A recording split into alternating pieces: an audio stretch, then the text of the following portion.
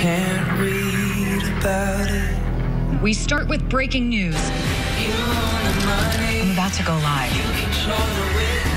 You ready to do this? I heard your promise, but I don't believe it. That's why I do it again. They decide what the country cares about.